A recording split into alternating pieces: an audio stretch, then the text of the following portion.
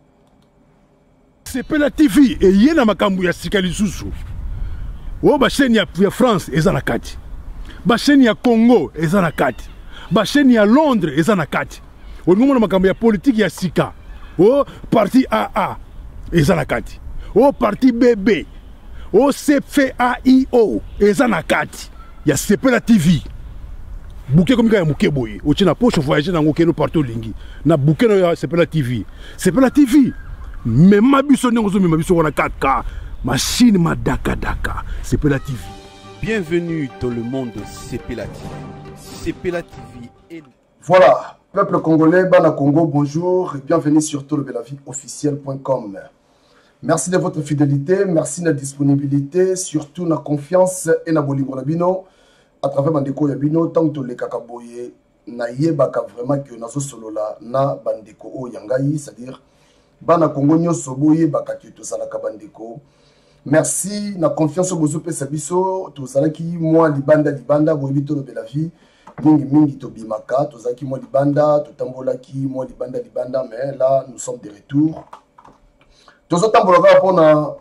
euh, boyebi nalobaki il faut tosala effort tobanda kosolola chaque jour à partir de 21 heures mais mwa ba contretemps sur temps par rapport ya studio na bino ya tolobela vie nanu mpenza esili te toza kobunda malembe malembe mpo tosilisa studio oyo donc je crois semaine oyo kaka tobandi parce que ezangi kaka mwa biloko mwa mike mike mike mike déjà mpe euh, ingénieur steve malongweni asi azwi yango déjà donc à très bientôt toza kosilisa ko euh, batravaux nyonso ya studio comme ça tobanda okutana chaque 21 heures congolais nyonso parce que mission ebanda koleka kaka nde tozolekisa mission boye mais wana ezala telefone eza polele pour tout le monde benga pesa mwa idée na yo au lieu de tobomana entre biso tobanda obengana topesana mwa baidée tosala mwa baechange ya, euh, ya baidée parce que eza très important na moment oyo tozali oyo soki toza ko euh, kozwa makambo yango kaka à la légère boyebaki biso nde bato tozosouffrir davantage donc aire moko soki problème ezali il faut tokoti tosololi donc chaque jour tondo kutana à partir de 21 heures sauf imprévu sauf voyage et tout donc ça dit soki imprévu eza nango te tobanda okutana boye chaque fois tomeka kosolano na bandeko ya biso bana congo euh, bakolo mboka hein? mais bana kolo lopango parce que biso moto ya bakolo lopango ya congo donc voilà naleki tomeka kosolola encore euh, na bino bandeko ya biso boyeba déjà que felix tshisekedi aza déjà de retour na kinshasa topropose bino d'abord bolanda retour na ye ndenge azalaki libanda ya mboka epuis azongaki botala ndenge euh, euh, felix tshisekedi azongaki après tomeka kobetela bino mwa masolo oyo eleki boyeba déjà que euh, balobi ekole eza gratuit donc tokomi kosola sur yango tokomi kosola sur affaire ya gouverneur hein? je crois tosisana affaire à gouverneur donc on wana a des place de tokovanda mpenza to nokobetana moi cité bon un retour ya euh, félix tshisekedi après tosonga tomeka kobeta masolo mosusu 93 afin de promouvoir un dialogue politique de haut niveau entre les dirigeants africains et leurs partenaires dans les domaines du développement. Rappelons que dans son discours jeudi du haut de la tribune de la TICAD, le chef de l'État congolais, qui est aussi deuxième vice-président de l'Union africaine chargé de l'Afrique centrale, a exhorté les participants à privilégier la paix et la stabilité en Afrique, sans lesquelles aucun développement n'est possible, a-t-il souligné. Après un bref entretien au salon présidentiel entre le président de la République et quelques-uns de ses proches collaborateurs, les cortèges présidentiels s'étaient branlés vers le centre-ville de la capitale.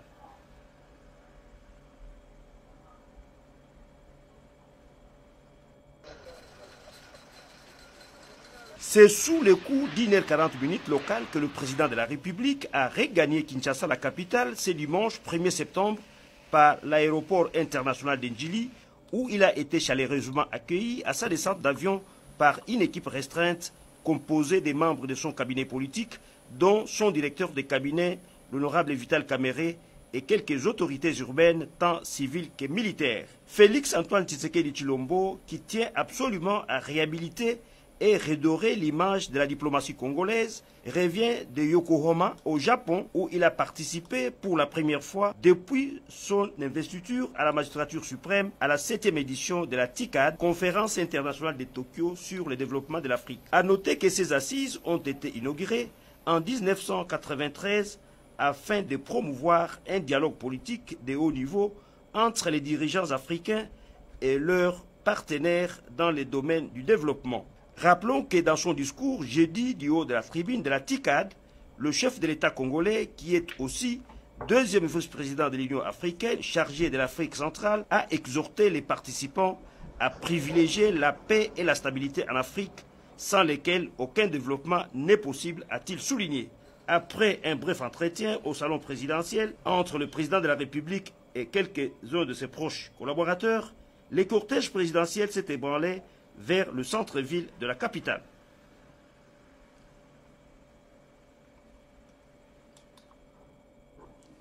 voilà eza na baekole oyo eza deja oyo baza deja rembourse oyebi na mboka na biso baparent ebele bafutaka euh, système ezalaki fo ofuta mwa minerval avant mais euh, baekole mwa ebele lobi tolandi yango biso nyonso na information balobi euh, des écoles rembourse les frais scolaires aux parents donc baekole babengi baparent ebele oyo basi bafutaki avant babengi bango baya mpona barembourse bango alors lisolo ya gratuité oyo ya ya ba école en tout cas tolobaki soki likambo ya malamu esalami franchement il faut tobetela yango maboko l'esprit ya bien parce que makambo oyo soki otali bien banda tozala zala zala zala tomonaka yango te kabila il a fait 18 ans na pouvoir ata mokolo moko te toyoka lisolo omoni mwana mboka aotikala mwana mboka soki omoni bato mosusu bazobunda mpo makambo oyo esila parce que bato balembi c'est-à-dire bato bamoni trop alors mwana mboka na place wana yebaki wana eza mboka na yo il faut kumisa nzambe mais bagénération yango omona kaka 120 130 ntango mosusu mais ntango mosusu mpe 100 ans okomisa yango te alors il faut osala malamu il faut tika génération nalobaka chaque fois mundele asalaka projet oyo ekoya c'est-à-dire après ntango mosusu 300 ans mundele asasede projet nango déjà soki ye akufi oyo akoya na nsima na ye akuti deja makambo nyonso eza bien établi bien écrit donc ye azocontinue ainsi de suite mais biso ozwi place moko boye olobongisa mpo na bato sikoyo génération oyo ya nsima nsima nsima nsima bakuti nini pendant 18 ans joseph kabila asali bakuti eloko te na esprit ya bien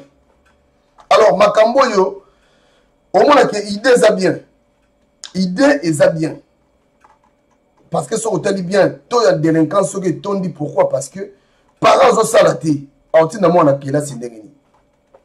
parent azosala te siko mwana okende classe ndenge nini mwana mwasi to mobali donc ya mwasi omona akesaka n'importe quoi ya mobali akomi moyibi asimbi bato bambeli parce que arate éducation po papa oloba nini ayebi kokenda mosala te obeta no dame chaque jour bozala na ye wana oloba na ye de papa okoloba na mwana na yo ata eloko moko te donc soki enseignement gratuité enseignement ezali ndenge tozomona wana parce que namonaki mwa baintervention misusu baparent mosusu balobi en tout cas barembourse bango soki ekozala bongo en tout cas tokosouhaite et continuer pour quand même avenir à lobby eza ko appartenir na bana oyo bazokende l'école lelo malgré na mboka nazo ata moto atangi ndenge nini oyo asi akangaki je akangi kaka je akofongola je te alors soki makambo wana ekosalama ndenge tozoloba ndenge toza komona en tout cas ekozala bien balobi ekole mokengeli babongisi yango ekoti kaka na cadre na kati ya 100 jours ya ekole mokengeli ekoti na kati kaka ya 100 jours ya président de la république andimi kobongisa ekole mokengeli bano batanga na mokengeli bana lemba bayebi donc lelo azokende kuna na mokengeli donc abongisi mokengeli soki tazwi ata mwa idee ya kosala ata mwa ndambo pardon papa tobeta ata mwa maboko tobeta ata mwa maboko donc mpo toleka place oyo euh, tokenda biso obeta masolo tolingaki tobeta ya gouverneur boyeba ke toza na souci bana mboka fo bozala na idee ya kotonga felix tshisekedi na minute oyo peuple congolais nyonso bamotalela yo minduki echangea camp minduki place banda kotala ebaluka kabila ya mayele sikoyo lelo oyo mpo minduki wana elongwa oyebi susi ya peuple eza nini susi ya peuple congolais ya minute eza nini moi je crois que souci ya liboso peuple aza nango occupation fo elongwa nao na mboka mpo c'est-à-dire même mpo na sécurité ya yo mo président de la république il faut d'abord occupation elongwa nao na mboka na biso omosi occupation elongwe mposo otali bia omonaki moi idea malamu eza te mwa idee ya bien ya kosunga ezali mwa idee mpenza ya bien oyo ezomona mpena kino en tout cas noko alingi asunga bandeko oyo ya ye mwa idee eza bien me sikoyo problème tokozala nango eza kaka moko ya mibale te problème eza ke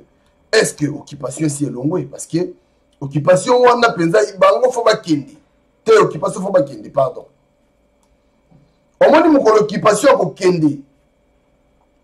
ata félix tshisekedi ye moko akokoma na sécurité omoni mokolo occupation ekobima na mboka na biso omona tongosambaka na mboka na biso biso moko tomozwa desizio ya mboka na biso biso moko mais soki kaka occupation ezali okozwa boule boye mais baoccupant baza wana occupation boule eza nini ye, ye a échoué pendant 18 ans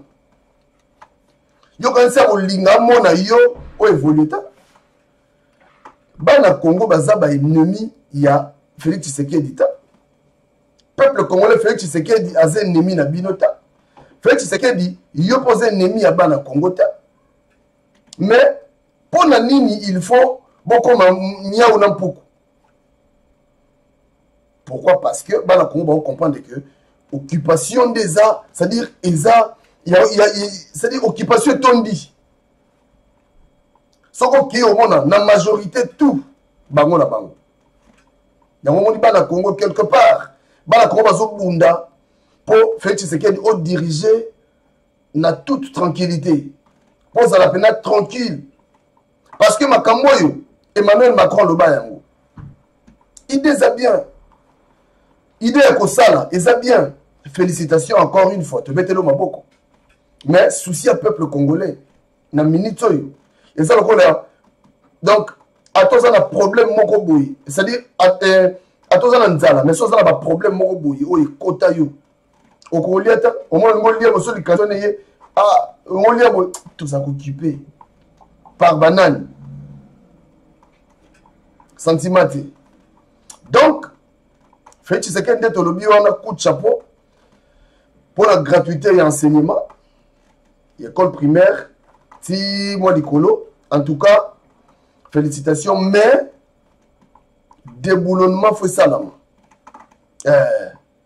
il faut déraciner bato bana bango na ntina te parce que ebele baza wana ce sont des antivaleurs yo oza peme na président moi je préfère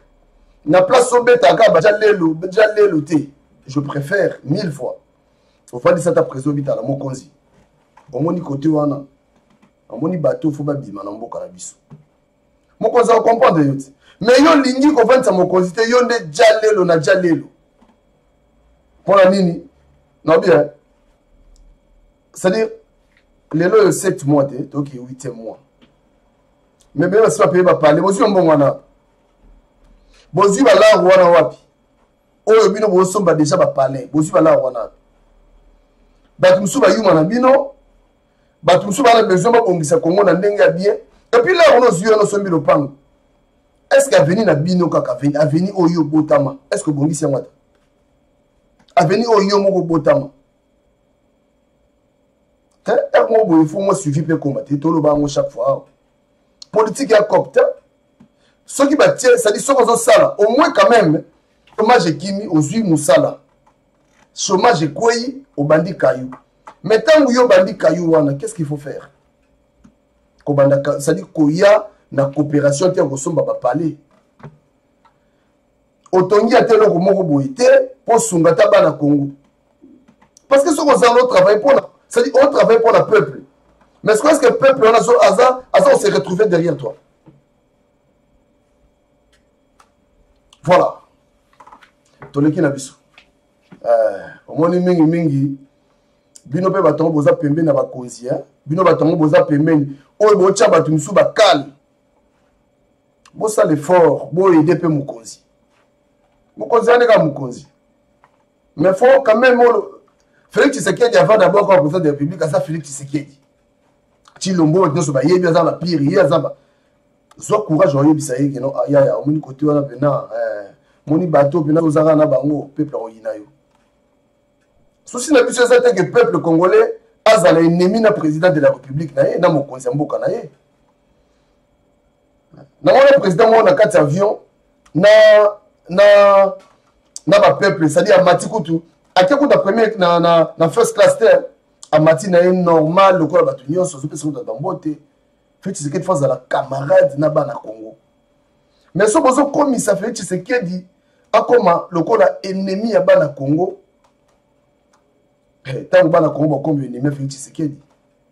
haute trahison ekosalama après lobi oyoka o oh, banauwa tolingi banauwa ata toyokana tobongisa mboka batyo na place wana yebaki oza wana mpo na peuple makambo mosusu eleka na congo tokotika yango ekende kaka ndenge wana te kokende inaperçu te jamais jamais jamais jamais bandeko na biso bakufa occupation moto eboma bango na autorisation occupation nde bandeko na biso bakufa tokotika bango bakende kaka ndenge wana te tokotika yango ekende kaka bongo te eh. opération eza kaka moko congolais elinga congolais operation eza kaka moko félix tshisekedi oyebelo nyonso oyo fosala mpo osepelisa bana congo voilà tobetano masolo oyo ya mama mimi na euh, les deux gouverneurs oyo bayokisi bato soni moko impossible makambo oyo bato oyo na congo nanu ezala te gouverneur na vice gouverneur makambo oyo bino bosali makambo bosali bana congo bokofuta yango trop cher parce que bomanke bana congo respect gouverneur na vice gouverneur na ye vraiment bamanke bana congo respect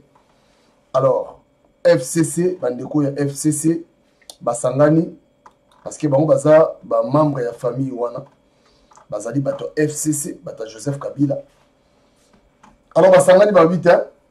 makambo ofa esila mpo makambo esila il faut bato badémissionne donc gouverneur na vice gouverneur na ye na adjoint na ye c'est-à-dire bango mibale il faut badégage parce que makambo basali wana nalobaki eza na bavideo ezalaki plus pure que ça alors boyoka déclaration ya fcc mpo na ngai namoni je crois tokosuka awa na, na, na video nde napropose bino mais mpo na ngai namoni ke bato oyo baza na raison baa na raison bamakambo mosusu parce que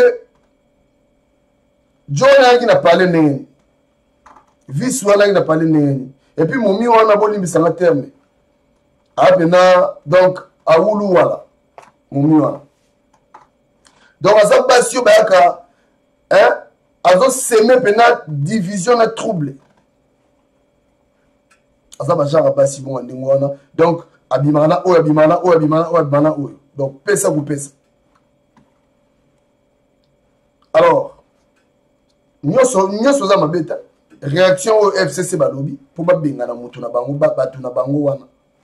na bosoni oyo basali me bosoni oyo oyo kuta ebimi ya plus pure esalamaka plus pure esalamaka me bato yango batemi likolo baoloba bato bete yango maboko ayemi yango banzembo peuple congolais elobaka ata boketswa yambo peuple ya ndenge nini oyo mokolo tokozwa maturité politique bapoliticien na biso na bazwa maturité politique te basala mpo na lar bapolitisien biso basala mpo na lar affaire oyo omona mpenza ke eza trahison moko c'est-à-dire eza donc dona ndenge elekeli ya po comprendre ya mpasi mais c'est simple pourquoi mwana mwasi oyo azali na palais john ayebe ndenge mwa mwasi azali na palais donc mwa mwasi yango abenga donc très bien organisé mpona basimbisa ye touche mais lelo bango nyonso tu batya bango libanda ngai nasepelaki ke bango tu baza mpe na libanda parce que namoni ntina na bango te bolanda déclaration ya fcc je crois à partir ya awa nde tokosilana na bino donc d'ici la porte vous yango wana euh, déclaration ya fcc et délibération la conférence des présidents 1 dénonce et condamne fermement ce scandale dans lequel sont impliquées les plus hautes autorités de la province. Deux, Informe l'opinion qu'à dater de ce jour, le Front commun pour le Congo a retiré totalement sa confiance et son soutien politique au gouverneur et vice-gouverneur du Congo central. Par conséquent, le Front commun pour le Congo demande aux concernés de présenter immédiatement leur démission. 3. Le Front commun pour le Congo demande aux institutions compétentes, chacune en ce qui la concerne, d'assumer pleinement leurs responsabilités. Le Front commun pour le Congo réaffirme sa détermination à combattre sans ménagement les antivaleurs sous toutes leurs formes, conformément à la vision de son autorité morale, le camarade Joseph Kabila Kaba. Fait à Kinshasa le 31 août